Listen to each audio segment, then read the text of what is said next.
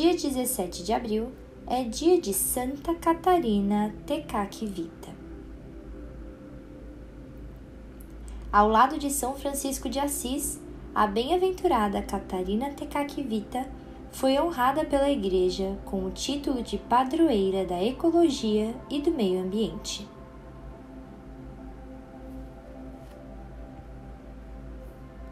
Mas antes de contarmos melhor a história de Santa Catarina Tecakivita, caso você ainda não seja inscrito ou inscrita no nosso canal, esse é o momento ideal para você se inscrever e ativar também o sininho de notificações.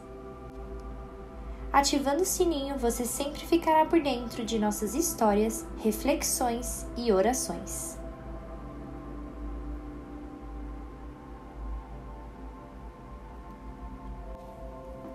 Ela nasceu no ano de 1656, perto da cidade de Port Orange, no Canadá.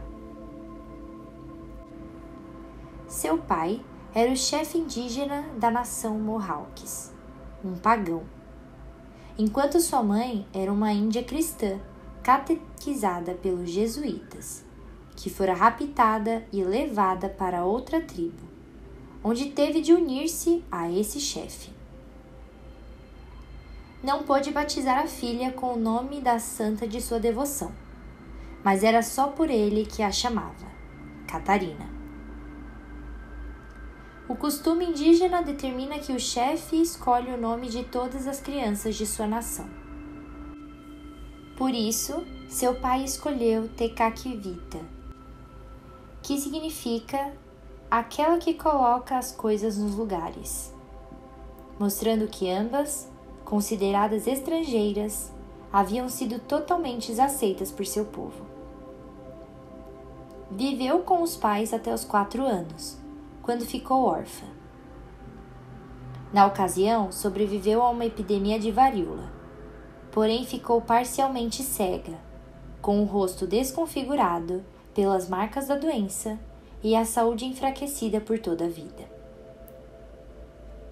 O novo chefe, que era o seu tio, acolheu-a e a ela passou a ajudar a tia no cuidado da casa.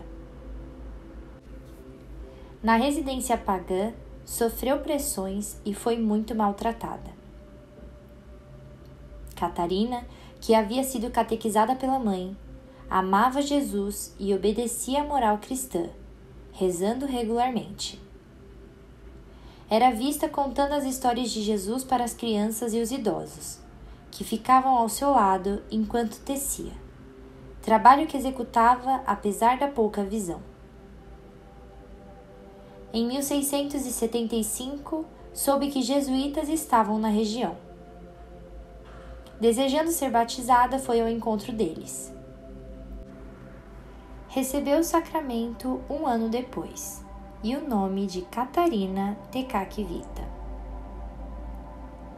Devido à sua fé, era hostilizada, porque rejeitava as propostas de casamento.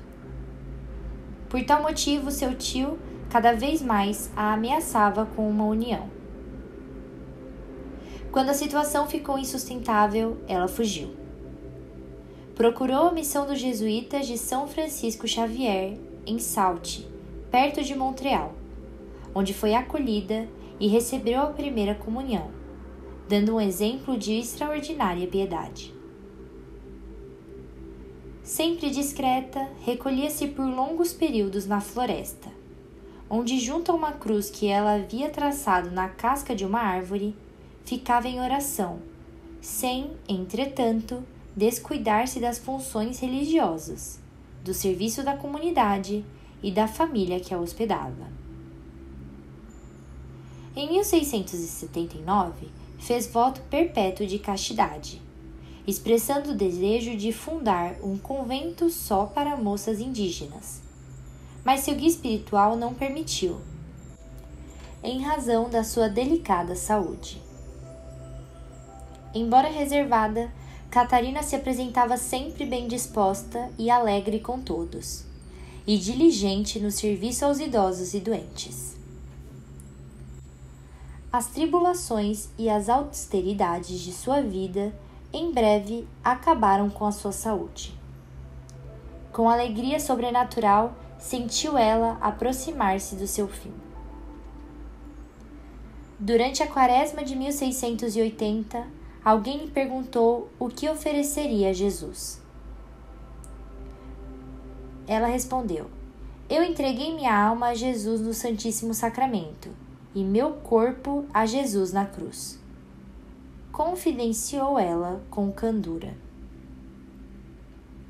Aos 24 anos, ela morreu no dia 17 de abril de 1680. Momentos antes de morrer, o seu rosto desfigurado tornou-se bonito e sem marcas. Milagre presenciado pelos jesuítas e algumas pessoas que a assistiam. O milagre e a fama de suas virtudes espalhou-se rapidamente e possibilitou a conversão de muitos irmãos de sua raça. Catarina, que amou, viveu e conservou o seu cristianismo só com a ajuda da graça, por muitos anos tornou-se conhecida em todas as nações indígenas como o lírio de Mohawks, que intercede por seus pedidos. A sua existência curta e pura, como esta flor, conseguiu o que havia almejado: que as nações indígenas dos Estados Unidos e do Canadá conhecessem e vivessem a paixão de Jesus Cristo. O Papa João Paulo II nomeou-a padroeira da 17ª Jornada Mundial da Juventude, realizada no Canadá em 2002, quando a beatificou. Em 18 de fevereiro de 2012, o Papa Bento XVI anunciou na Basílica de São Pedro a sua canonização em 21 de outubro de 2012. Sua festa ocorre no dia 14 de abril nos Estados Unidos. Catherine Tecavita, para nós, Catarina, foi a primeira americana pele vermelha a ter sua santidade reconhecida pela Igreja.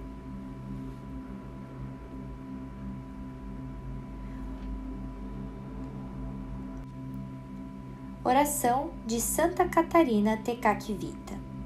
Em nome do Pai, do Filho e do Espírito Santo. Amém.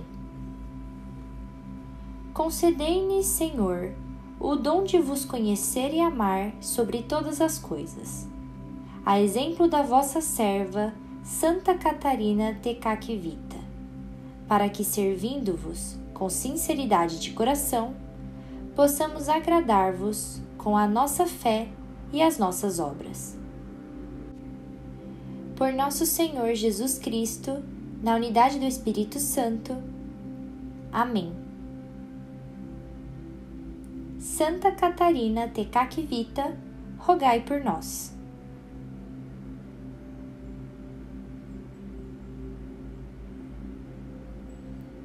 E antes que possamos finalizar o vídeo de hoje, não esqueça de deixar o seu like aqui embaixo e compartilhar esse vídeo com as suas pessoas mais queridas.